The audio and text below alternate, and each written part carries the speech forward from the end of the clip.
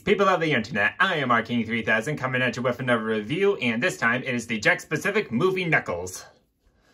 Um, here he is in the packaging, he's well displayed, and the box is basically almost exactly the same as the movie Sonic. Here's the back, shows off the Knuckles figure, as well as the other characters from the wave.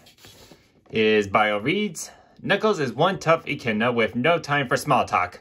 He's on a mission to find the greatest power in the universe, and action speaks louder than words. Cool. And that's it for the packaging, so let's get on to the actual review.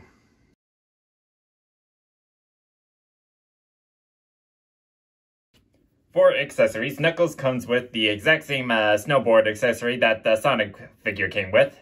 And I do mean the exact uh, same snowboard. Which honestly makes sense. We both see Sonic and Knuckles um, uh, snowboarding in the trailer, so it just makes sense for him to have this. Although, I I just think they should have just gave him his own unique accessory, like a Chaos Emerald or something.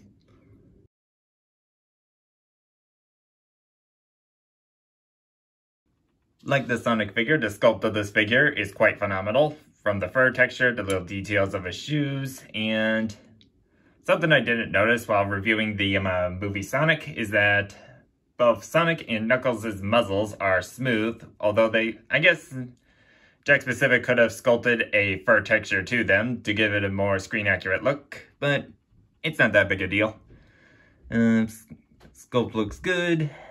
Paint-wise, it's decently applied. His um, uh, little white um, uh, mark on his chest looks a little um, fuzzy, although I think it makes it look a bit more realistic as opposed to um, the belly patch on the Sonic figure. And paint looks also also looks good.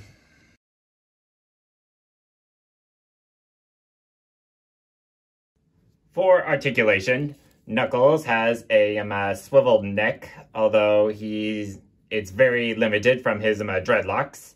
He has ball-jointed wrist and feet, he has universal shoulders and universal hips.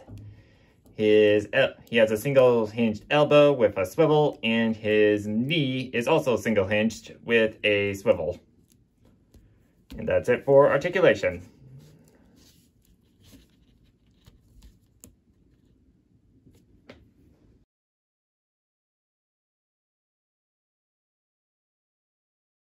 For scale, here he is next to a um, uh, standard um, 6-inch figure.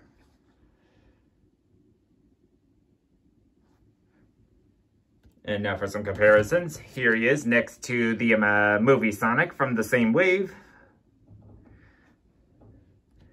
And finally, here he is next to his um, uh, video game counterpart, it's kind of funny seeing the differences in designs between the movie and video game versions, how the proportions are all different. It's kind of funny.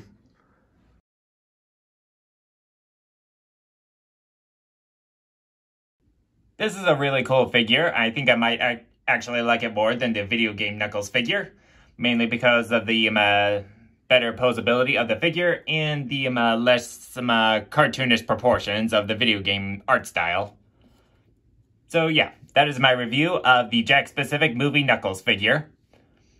If you like this review and this video, please like, comment, share, and subscribe if you wish to see more content from me, and